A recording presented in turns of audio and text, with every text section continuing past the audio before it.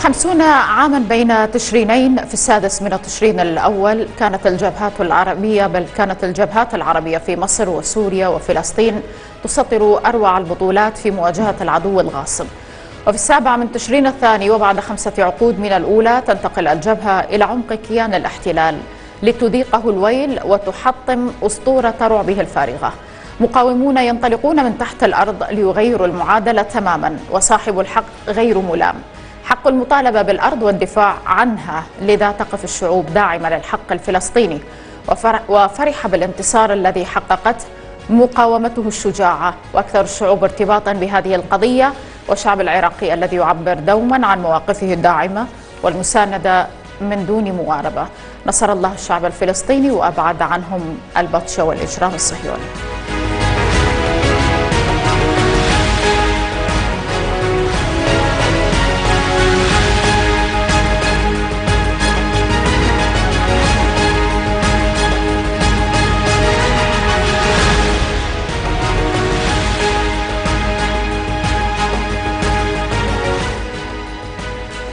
مواقف الشعب العراقي ثابتة تجاه القضية الفلسطينية مهما مر الزمان. مرات البعض يراهن على عامل الزمن من الأجيال الجديدة ما راح تهتم بهذه القضية أو ما مطية للقضية ذاك الاهتمام اللي تستحق ولكن بالحقيقة القضية الفلسطينية تعيش في ضمير الشعب العراقي.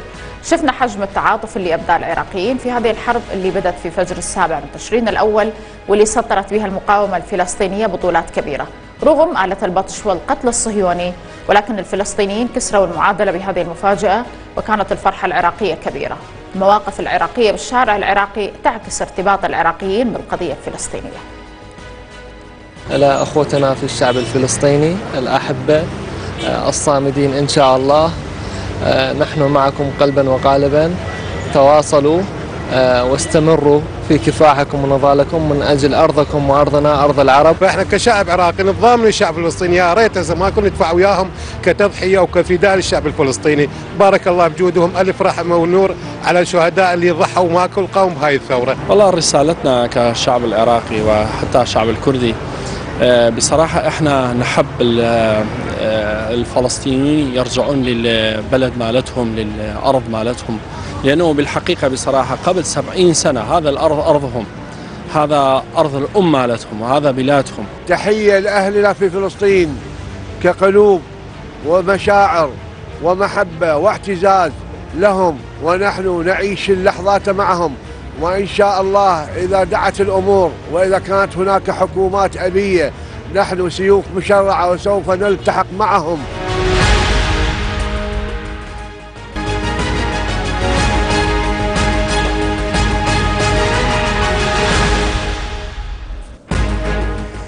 من الديوانية مواطن يعاني من الفقر. هذا المواطن كان منتسب في الحشد الشعبي وأثناء عودة المفسوخة عقودهم آه، ما شمل القرار فما رجع وما مقدم يعني يمكن هو اللي آه، ما مقدم ويا اللي رجعوا آه، للخدمة.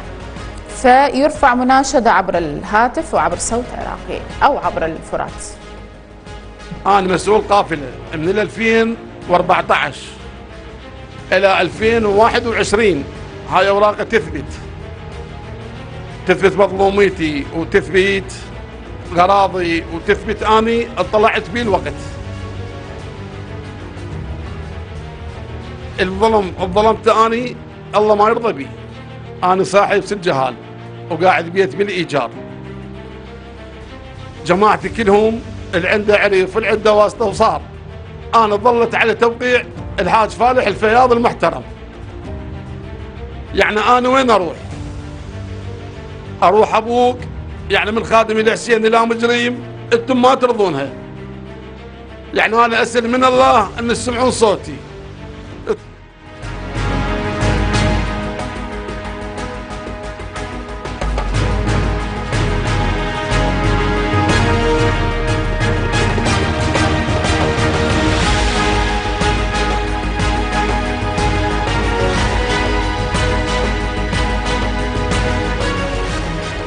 الحالات الإنسانية كثيرة في الواقع العراقي. حالة أحد العوائل اللي عندهم فقط طفلة مريضة بمرض السكري. حالتهم المادية جدا ضعيفة. لذلك يطالبون بالمساعدة من قبل الجهات المختصة. هاي وضعيتنا. شوف حتى ثلاجة مثل العالم ما عندي. شوف بابها واقع مكسرة. هاي الحمد لله والشكر. شوف غراضي بالقاع. ما عندي.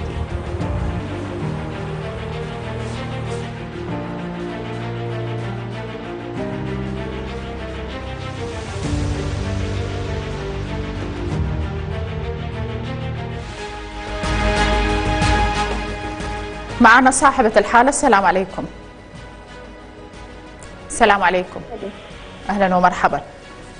والله أنا عندي هاي الطفلة مريضة بها سكر وما عندي معين زين إحنا احكي لنا عن وضعها شنو؟ إي والله بها سكر عمرها عشر سنين. زين. إي وما عندي بس هاي الطفلة وأنا من عمرها عشر سنين مفصوله من أبوها. صار لها عشر سنين. زين.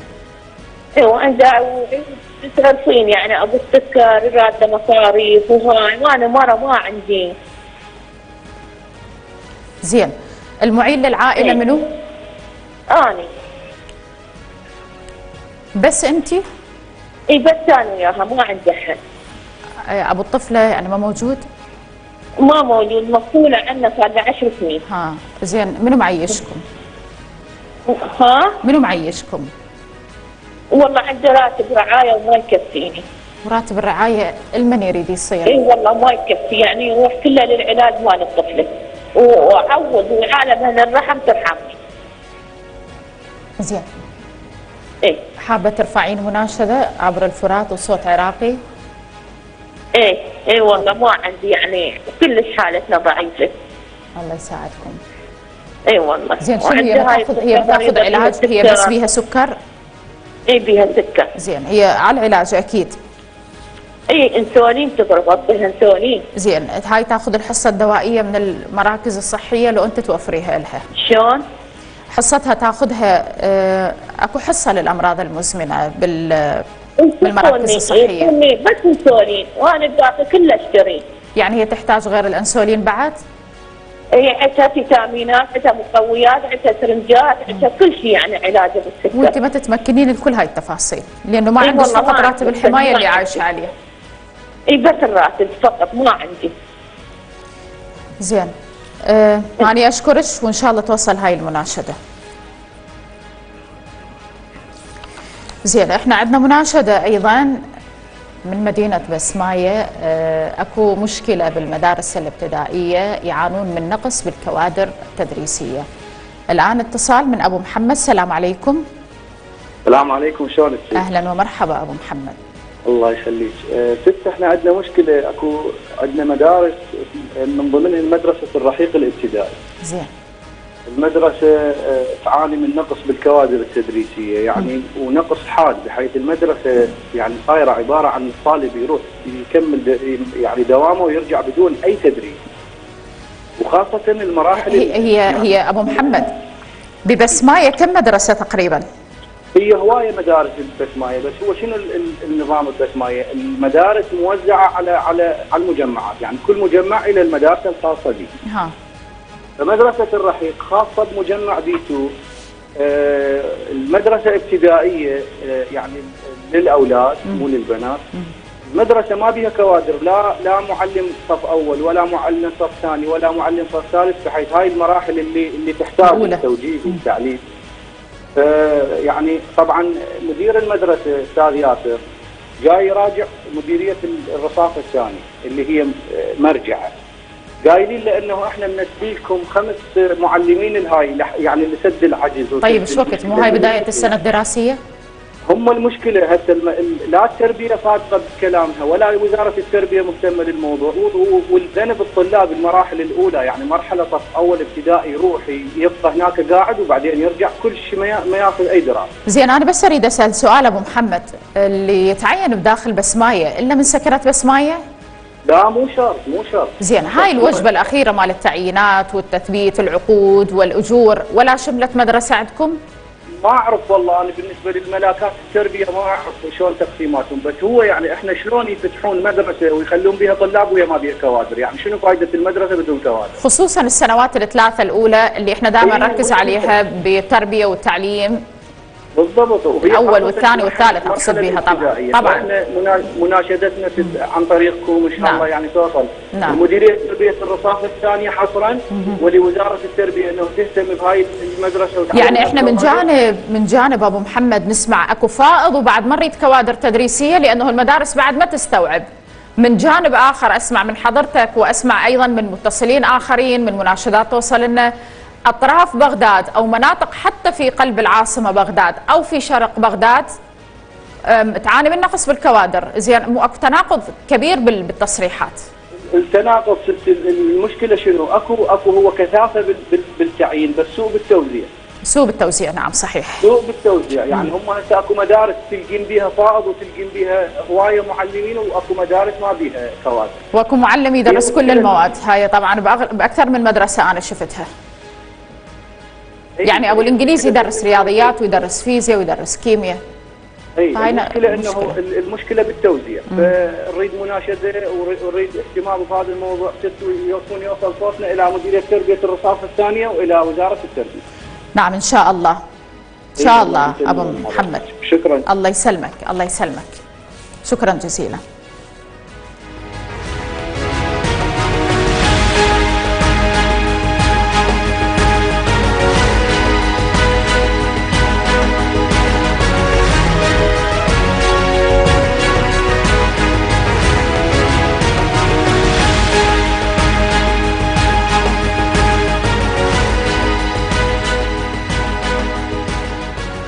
حالات بعض الحالات يعني اللي عرضناها مثل حالة الطفلة اللي بها مرض سكري تحتاج للتدخل من قبل الجهات المختصة ثانيا من قبل الفرق التطوعية والمنظمات والجمعيات الخيرية اللي تعنى بالكفالة الاجتماعية. جهود أصحاب الخير وعمل الإحسان كبيرة ولكن بصراحة آه، مرات ما توصلهم الحالة بشكل سريع أو ما تقدر تغطي كل هاي التفاصيل. آه، أقصد هذه الحالات طبعا. من خلال الإعلام وتسليط الضوء على مثل هذه الحالات أقصد بها حالة الطفلة ممكن يوصلوهم ويمدون يد المساعدة والعون لهم وبالتالي يرفعون بعض الثقل عن كاهلهم في ذي قار آه، آه، هناك عدة جوانب. منها الخدمات اللي تتفرع إلى عدة ملفات. الجانب الثاني موضوع الأمراض المستعصية والسرطانية اللي تعاني منها المحافظة ويمكن إحنا في أكثر من مرة كان عندنا محور عن هاي التفاصيل. وناقشناها كثيرا وهي بحاجة إلى حلول سريعة. موضوع الخدمات يطالب المواطن دائما بتوسعة الشوارع. ليش؟ لأنه صار أكو ضغط جدا كبير على الشوارع سواء في بغداد أو في المحافظات. فالتوسعة صارت ضرورية استحداث شوارع جديدة مجسرات جديدة أنفاق أيضا جديدة من أجل سحب الازدحام بالشارع بموضوع الأمراض السرطانية المواطنين يطالبون بإنشاء مراكز تخصصية لأنه حتى إذا عندنا مراكز تخصصية فهي يعني ما تفي بالغرض مطلقا. راح نتابع على الرغم من أن محافظة ذي قارة شهدت حركة إعمار تمثلت بإنجاز مجموعة من المشاريع الخدمية فيها وتعبيد العديد من الطرق والشوارع خاصة في أحيائها وأقضيتها ونواحيها. إلا أن المحافظة ونظرا لاتساع رقعتها الجغرافية فهي رابع أكبر محافظة في العراق. ونظرا للتوسع العمراني والزخم السكاني فيها فهي بحاجة إلى الكثير من المشاريع الخدمية خاصة فيما يتعلق بتعبيد الطرق والشوارع وإنشاء المجسرات شمال الناصرية كل العماره قليل فأطمح من ال- الحكومة المركزية والحكومة المحلية أن تنظر إلى ذي قار نظرة خاصة بصراحة. لأنها مدينة عريقة. مدينة مدينة كبيرة. أعدادها سكان هائله ونطمح من الحكومة كذلك أن شوارع الرئيسيه الخارجيه هم شوارع قليلة. وإن وإن وجدت فانها شوارع مدمرة. سنة بعد أخرى تزداد نسبة المصابين بالأمراض السرطانية في العراق وذي قار. ومن المتوقع زيادتها للضعف في السنوات القادمة حسب مختصين. والأسباب مختلفة. يقابلها محدودية في الخدمات الصحية المقدمة لهم نتيجة عدم استيعاب المراكز الطبية المتخصصة وعدم وجود مستشفى متكامل للأمراض السرطانية في المحافظة. ناهيك عن ندرة وغلاء الأدوية والأجهزة المتخصصة لعلاج هكذا أمراض مميتة ما يضطر بعض المرضى وذويهم لتحمل عناء السفر والتكاليف الباهظة للعلاج خارج البلاد. الامراض السرطانية سبب انتشارها هناك سببان يعني رئيسيان، السبب الأول هي أسباب قديمة كما هو معلوم أيام النظام المقبور تم ضرب وقصف العراق بصورة عامة ومناطق ذي قار بصورة خاصة بمادة اليورانيوم المنظم، التلوث المنبعث من المنشآت النفطية. طبعا باعتبار المنشآت النفطية هي آه، في تعمل بنظام تشغيلي قديم. ربما هذا النظام يعني منتهي عالميا. والغازات المنبعثة من محطات الكهرباء. الطريقة العلاجية هو إنشاء المطالبة والمطالبة الجدية بإنشاء مركز لعلاج الأمراض المستعصية في محافظة ذي قار والمفضل أن يكون اختيار المكان في مناطق خضراء بعيدة عن مراكز المدينة.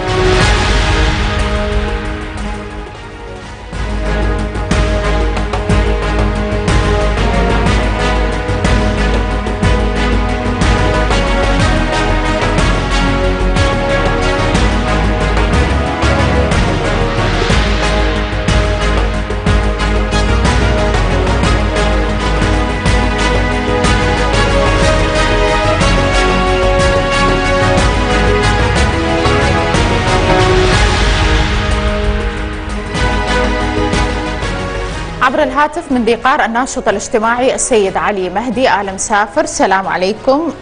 أستاذ علي عليكم. بالنسبة للواقع الخدمي تقييمكم بشكل عام في ذيقار وعليكم السلام ست ورحمة الله وبركاته. أهلا بكم. بسم الله الرحمن الرحيم. وقل اعملوا فسيرى الله عملكم ورسوله والمؤمنين شكرا جزيلا لقناتكم المرقب مدينة الناصرية مدينة عريقة مدينة كبيرة تعاني الأمرين.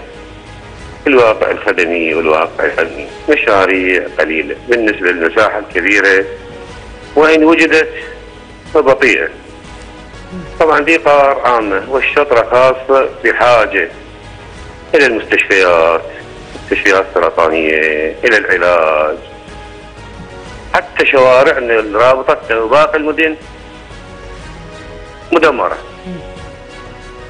أخيرا كثرة كثرة ال- الأمراض السرطانية في الناصرية وفي الشطرة خاصة. الرجاء من الحكومة المركزية في بغداد النظر إلى ذي قار وإلى الشطرة بنظرة بنظرة خدمات نظرة صحة نظرة مستشفيات نظرة بناء نظرة إعمار. هذه الشريحة تستاهل تستاهل ان ال- احد ينظر لنا من الحكومة المركزية والحكومة ذي قار. جزاكم الله ألف خير ممنون علي مهدي نعمة آل مسافر. أنا عندي محاور كثيرة مع حضرتك أستاذ علي بدي أسألك عن موضوع. الجفاف أيضا وتأثيره وآثاره على المحافظة طبعا موضوع الجفاف موضوع مهم. اولا ذي قار مدينة زراعية. لاحظين الآن الجفاف العام في ذي قار في الاهوار في مناطق من النخيل انتهى البساتين انتهت. ولحد الآن لا حكومة مركزية تحركت ولا حكومة محلية تحركت. فالناس جاي تعاني الأمرين. أصحاب الحلال أصحاب الجاموس اصحاب الناس جاي تعاني الأمرين انشحه المياه. نعم. بالنسبة للواقع الصحي كيف تقيموه؟ بالنسبة قار واقعها الصحي. والله أمر من الامرين صراحة. حتى ننظر إلى شمال ذي قار ما بيها أي مستشفى. الحالة تصير المصابي يصير الحادثي يصير للناصية. الناصية هم قليلة للبصرة وهكذا. هسه الشطرة فاعلة عندنا مستشفى من من ال 69 لحد الآن. عندنا مستشفى الحوراء لحد الآن ما كامل. القرب الياباني لحد الآن ما كامل. تروح للمستشفى علاج ماكو. فد بؤس يعني بؤس المدينة بؤس مدينة ما ما أدري يعني ما والله ما أدري يعني. زين هذا البؤس غير له حلول. بس الحلول الحلول بيد الدولة الحلول الحلول بيد الدولة المفروض الدولة تن- تنظر للواقع الصحي تنظر للواقع الصحي. ماكو نظرة للواقع الصحي ماكو والحلول شنو ال- الحلول الحلول لل- للإطار عامة. أن تبنى مستشفيات مستشفى السرطان. مستشفيات كبيرة في شمال ذي قار ظل بعد علاج ماكو سونار ماكو رنين جهاز رنين ماكو.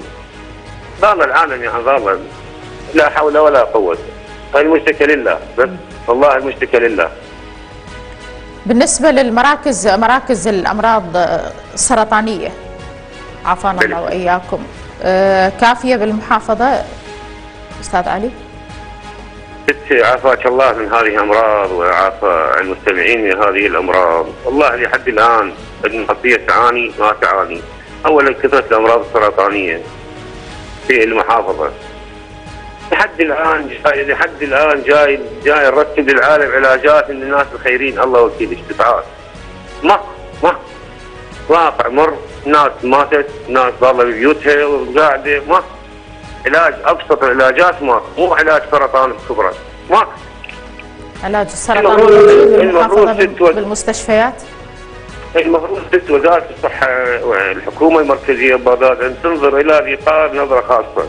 هذه المدينة المضحية. ها مدينة الشعراء مدينة الأدباء. مدينة الثورات هذه المدينة الأثرية العريقة. ما ما تصير يعني مدينة ضالة ضالة حطام. زين أسباب السرطان التلوث والنفط على رأس القائمة. كيف بالإمكان يتم التخلص من هذه الأسباب؟ ست اولا اولا على رأس القائمة طبعا. اولا تلوث الشركات النفطية. ثانيا القار ضربت بال- بالتحالف وهي ضربات الديقار وبقت لحد الآن مواقع غير غير منظفه بالديقار نعم. لحد الآن بها اشعاعات باقية. لحد الآن ماكو دولة طلعت نظفت شالت الأنقاض القديمة. لحد الآن اصابات مواقع عندنا هواية هسه بالشره وبالقار بالغراف بالدواير لحد الآن عندنا اصابات باقية. أشكركم سيد علي مهدي عالم سافر. شكرا جزيلا.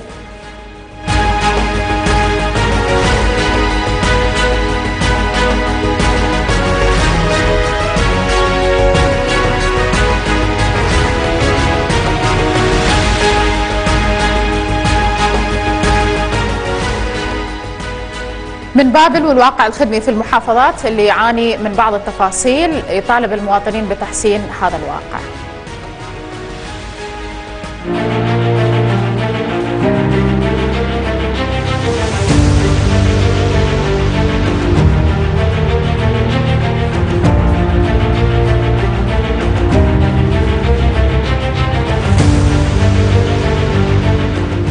حقيقة إحنا أكثر يعني اللي نعاني منه كمنطقة في ناحية القاسم قضاء القاسم وقضاء الهاشمية هو يعني الشوارع غير المعبدة. الشوارع غير المعبدة وخصوصا في مركز المدينة. يعني أنت هسه لو تروح المركز مدينة القاسم بالقرب من الإمام تلقى شوارع محفرة. يعني أصلا ما مبلطة ولا مار بها تبليط. تلقى مثلا مياه آسنة نهر القاسم اللي يفوت يعني يشق المدينة إلى شقين. هذا مياه آسنة آه، يعني آه، سوداء مياه سوداء. أي مواطن بسيط السيلة بخصوص الخدمات تكون عنده ممكن تكون عنده رؤى وعنده أفكار كثيرة. ولكن ما ينقصنا هو ال- ال- الأبحاث أو الاستراتيجيات. لحد الآن كحكومة محلية وحكومة اتحادية عندنا تأخر بهذا الموضوع. انه ما عندنا مراكز تخطيط استراتيجي مراكز ابحاث تضع الاولويات.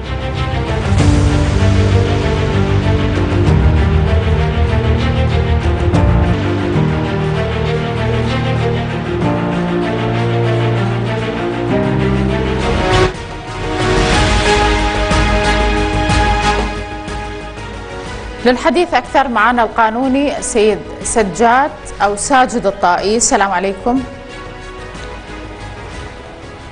وعليكم. السلام ورحمة الله وبركاته أهلا بكم بدأنا نتحدث عن الواقع. الخدمي في. المحافظة والمعاناة. اللي تعانيها محافظة بابل نعم بسم الله الرحمن الرحيم آه، بالبداية حقيقة نشكر آه، قناة الفرات الفضائية على تسليط الضوء على آه، هذه المواضيع المهمة والحساسة والتي تمس آه، حياة المواطنين بشكل مباشر.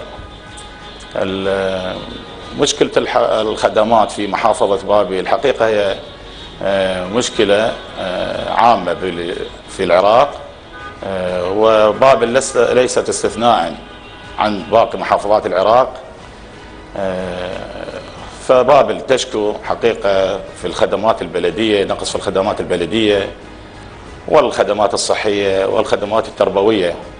ومثل ما تعرفين أن هذه الخدمات آه، هي من الضروريات. وهذه الخدمات بالإمكان حقيقة تحسين من عدها وإعادة تأهيلها بشكل أو بآخر آه، ولكن آه، يحتاج آه، ال- ال- الإرادة آه، من الحكومات المحلية ابتداء المتمثلة حاليا آه، بالمحافظة وسيد المحافظ ومدراء الدوائر المعنيين وكذلك الحكومات المركزية آه، ال- من خلال دعم محافظة بابل بالموازنات آه، السنوية لتأهيل هذه الخدمات. ال- هذه الخدمات حقيقة في في بابل آه، في جزء من عدها آه، تتكرس وبشكل واضح وملحوظ في كل مراكز مدن الأقضية والنواحي. آه، بخلاف باقي المناطق خارج مراكز المدن وهذا يشار إليه وواضح من كل عامة الناس وبالعكس المفروض الخدمات في هذه المراكز المدن في الأقضية والنواحي المفروض تكون مضاعفة آه، عن آه، خارج المدن باعتبار آه، الخدمات هذه في مراكز المدن تكون ما- خدماتها خدمات عامة ولا تقتصر على فئة أو شخوص معينين وإنما تشمل كل أبناء محافظة بابل إنشاء جسر في المحافظة في مركز المدينة يخدم كل بابل ويخدم باقي المحافظات. آه، إنشاء طرق استراتيجية وحولية يخدم كل آه، أهالي محافظة بابل والمحافظات الأخرى. إنشاء المستشفيات الكبيرة وال والمجهزة بكل الأجهزة الطبية الحديثة يخدم كل أهالي محافظة بابل. إنشاء المدارس والكليات في هذه المراكز المدن يخدم أيضا كل أهالي بابل. فبالتالي ال- أكو أنا هيك أقول اوصفها أكو عدم عدالة بتوزيع هذه الموازنات بين آه، هذه الأقضية والنواحي بحيث هذه الخدمات تكرست بشكل وبآخر في مناطق محددة لسنوات طويلة وانحرمت من عندها مناطق آه، وخاصة مراكز المدن لسنوات طويلة. يكون ال ال كحكومة محلية أو كرئاسة وزراء تأخذ هذه الأمور بنظر الاعتبار آه، في المستقبل في الوقت القريب إن شاء الله. ونحن مقبلين على انتخابات آه، مجالس المحافظات. آه، تكون تنظر هذه الأمور آه، في الفترات ال- الحالية والسابقة اللاحقة إن شاء الله. واقع المدارس والواقع التربوي آه، واقع المدار التربوي نشكو من عدة بشكل مو طبيعي. ست ال- المدارس نشكو من قلة المدارس في محافظة بابل. ابتداء القلة وسوء التوزيع. أيضا مشكلة ثانية سوء التوزيع. وإن وزعت وإن وجدت أيضا نشكو من إهمالها ومن الأبنية ال- آه، الآيلة للسقوط. وإذا هدمت الآيلة للسقوط أيضا نشكو شكوى أخرى إن هذه المدارس آه، تبقى لسنوات حتى تنشأ. بابل يعني مع الاحترامات إلى كل المشرفين على هذه الخدمة آه، خدمة آه، يعني مؤذية للطلاب المدارس دوام ثلاثي. ال- الكتب مثل ما تعرفين وسمعتي انه الكتب لحد الآن هذا إحنا مع بداية الموسم الدراسي الحالي وطلابنا توجهوا لهذه المهمة ال- آه، حاليا لحد الآن ما توزعت لهم كتب أو توزعت في شيء بسيط. ال- الأبنية الموجودة حاليا آه، ما تتوالم مع كثافة الطلاب. آه، بابل تحتاج تقريبا إلى 500 مدرسة. أكو مدارس حاليا إحنا نشير إلها عسى ولعل إنه يتخذ إجراء بخصوصها مدارس البناء الجاهز.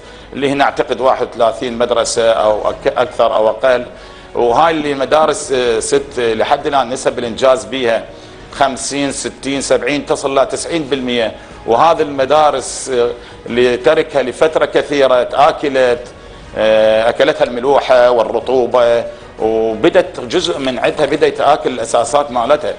بالتالي هذا راح يأثر على هذه ال- الأبنية وبالمستقبل القريب راح هماتين تتعرض إلى الهدم أو إذا ما آه، آه، إذا ما آه، صار قرار بتمشيتها على هذا الوضع فهاي طامة كبرى الأساسات ابدا مو صحيحة. آه، إحنا ندعوهم إنه يس- يستعجلون بقضية هذا هذه المدارس كونها مهمة وتحل مشكلة جزء بسيط من هذه ال- المشكلة في بابل. أما إذا نشير إلى البلدية فالبلدية حقيقة آه، المشاكل اليوم مو مشاكل آه، إدارات والمشكلة الإدارات فقط في التبديل وكثرة التغيير المدراء آه، ولكن أكو مشاكل حقيقية نشكو من عندها في بابل. هو قلة الآليات ومستلزمات التنظيف آه، أو بعد كذلك نشكو إلى قلة الكوادر الكوادر الخدمية الدنيا الكوادر الدنيا الضرورية في كل دائرة من دوائر الدولة. اليوم في بابل بالتعليم نشكو من هاي الكوادر. ال- في البلدية نشكو في الصحة نشكو. المستشفيات آه، تملأها ال- آه، الأوساخ والجزء من الأتربة و- وهذا سببه ماكو كوادر دنيا.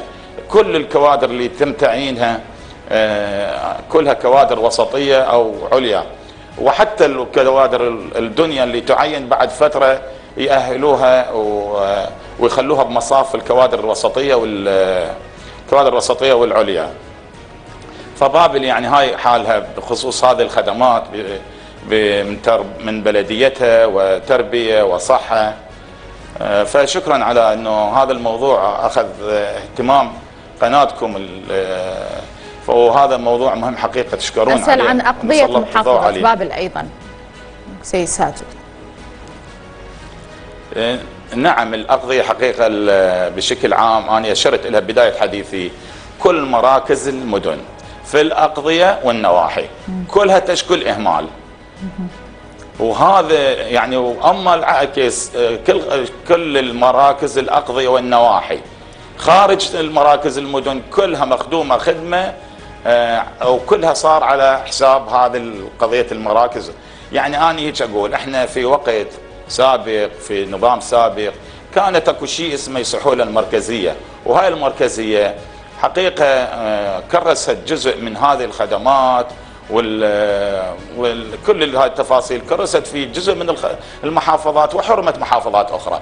بعد تغيير النظام والتحول إلى النظام اللامركزي ات- وجدنا أكو مركزية تشابه المركزية السابقة داخل كل محافظة. نعم داخل كل محافظة أكو مركزية آه، خلاف القانون وخلاف النظام اللامركزي اللي اجى به النظام الح... آه، النظام العراقي الحديث. بحيث ركزت مرك... آه، هذه الخدمات بشكل مركزي في مناطق محددة. وهاي الخدمات ركزت بس... بسبب ويعني بشكل أو بآخر هو سببه آه، جزء من عدة هو عدم عدالة النظام الانتخابي وتركز المرشحين في أماكن محددة من محافظة بابل. وبالتالي خدمة هذه المحاف... الم... المكانات باعتبار أكو أعضاء مجالس أو مسؤولين حكوميين من خ... آه، إجوا من خلال هاي الانتخابات أو من خلال التعيين آه، فبشكل أو بآخر خدموا هاي المناطق. أما المناطق اللي حرمت من هذه ال- التمثيل آه، اللي هي على سبيل المثال ال- المدن ومدن مراكز المدن فبالتالي لأن ما بها ممثلين ما صار ما صار إنه تخدم بصورة صحيحة فإن شاء الله خلال هذه ال- الفترة يتم اكو مشاركة قوية آه، بهاي الانتخابات القادمة إن شاء الله ويتم تغيير ال- آه، هاي المعادلات الظالمة. وكذلك إنه آه، إن شاء الله آه، اكو نظرة من الموا... من رأس الوزراء آه، بخصوص ال- العدالة توزيع العدالة آه، بين المحافظات وبين المحافظة الواحدة بين الاقضى والنواحي آه، وأكو إشارة بعد أيام إن شاء الله تفتح تعيينات. آه، هاي التعيينات ما وزع وزعت بشكل صحيح أعتقد هاي أول مرة يتم اتباعها. وزعت على الأقضية والنواحي وحسب. النسب السكانية. نعم. سابقا كان تفتح لكل المحافظه طيب. آه، فتكرس في مكان وتحرم في مكان. اليوم شكراً جزيلاً. عادل حسب النسب السكانية. نعم. أكو إن... تمام تمام. العفو ست اذا تحب تكمل هذه النقطة. تفضل. سيد سعد. يعني أنا أتمنى أقول يعني يكون الأموال أيضا والموازنة أيضا اللي تجي الموازنات أيضا هم تكون أكو عدالة بتوزيعها وسب وفق ال- النسب السكانية بين الاقضيه والنواحي على مود تكون أكو عدالة بتوزيع هذه الخدمات آه، وعدالة بالاستفادة من عندها بشكل عام من جمهورنا في بابل. شكرا لحضرتك سيدي. شكرا جزيلا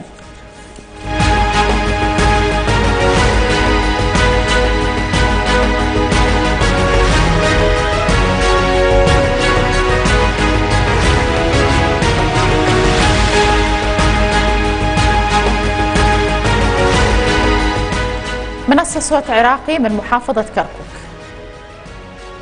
كل شهر كان ينزل على الكي كارد مالتنا كل واحد كان ينزل راتبه هذا الشهر تم قطع الراتب وتم مراجعة راجعنا الدوائر المعنية وراجعنا دائرة التقاعد. قالوا ما عندنا مشكلة والراتب نازل. رجعنا راجعنا المصرف. المصرف قال إنه أكو عندكم سلفة بأمك صاحبتها في تاريخ 2019 زين الآن يطالبوننا بدفع المبلغ نقدا حصرا كاش وهو البالغ عدده 4 ملايين و83 ألف. لا يقبلون بالتقسيط ولا يقبلون إطفاء السلفة. وعلما أن على المعلومة عندي أنه المتوفين يتم إطفاء السلف التابعة لهم. فأناشد الجهات المعنية عن نظر في وجهتنا وإحنا طلاب وأمس الحاجة لهذا الشيء. وخصوصا أنه إحنا كنا قاعدين إيجار. مثلي مثل أي مواطن من كركوك صدمنا بالأخبار الأخيرة اللي تحدثت عن أسعار المولدات اللي بالحقيقة وجدناها تتنافى وتختلف مع الواقع. كون الكهرباء الوطنية جيدة جدا آه، أسعار أراها مجحفة جدا للمواطن الكركوكي خاصة. آه، نمر بوضع اقتصادي آه، يعني مجهدين الناس من الوضع الاقتصادي. هذه التسعيرة ما تتناسب مع قوت يومهم. الدولار في صعود ال- الكهرباء متحسنة. أكو علامات استفهام كثيرة جدا يعني نحتاج من المحافظة ومن السيد قائم المقام ان أن يوضحها للمواطنين. على أي أساس بنيت هذه التسعيرة؟ الكهرباء ما شاء الله زينة. الجو تحسن فقدان القدرة قل التسعيرة هذه على أي أساس بنت ما ندري. اتصال من حيدر السلام عليكم. أهلا ومرحبا تفضل. الله يسلمك الله يسلمك أهلاً. أنا من ذوي الشهداء حي الشعب. نعم. أي من وكنت أداوم والدي استشهد بصدمه بال 2014 كملت استمارتي وكل شيء مكمل اني ويعني وموافقين على اسمي بالوجبات. نشروا نشروا من الوجبات تقريبا 30 ألف مقاتل. واني قالوا أولاد الشهداء من الأولوية لحد الآن أنا ما راجع. هي شنو وجبات؟ نعم كم وجبة الآن؟ كم وجبة الآن مشت؟ نعم ست كم وجبة مشت واسمك ما طلع؟ نشروا آه، 30 ألف مقاتل وهم إيش قد مجموعهم؟ هم المجموع تقريبا بالتسعين ألف يعني بعدك وجبات لا ست هو الموافق عليه 30 ألف بس قال مهند العقادي أستاذ مهند العقادي قال من, من الأولوية اللي هم أولاد الشهداء والجرحى راجعت أنت؟ نعم راجعت واستمارتي موجودة ست وين المشكلة الآن؟ المشكلة إنه ما أعرف شنو المشكلة يعني ممكن تكون؟ ما- ممكن إجراءات. إنه انتظر انتظر حط رقمك وانتظر طيب إذا تحب وجه مناشدة والله مناشدتي للأستاذ صالح الفياض وأبو ضياء الصغير وكل شخص يعني بهيئه الحي الشعبي. أنا أنا ابن شهيد وهم قاعد يعني سكن تجاوز وايجار ابن الشهيد علي قاسم علي داخل. بال 2014 استشهد على لواء 46 آه، العمليات جف الصخر. اناشد إنه مجرد بس أرجع للدوام بس العودة. آه، أنا أشكرك. الله يسلمك الله يبارك. فيك ويبارك بقناه الفرات. حياك شكراً. الله شكرا جزيلا. ينتهي صوت عراقي. السلام عليكم ورحمة الله.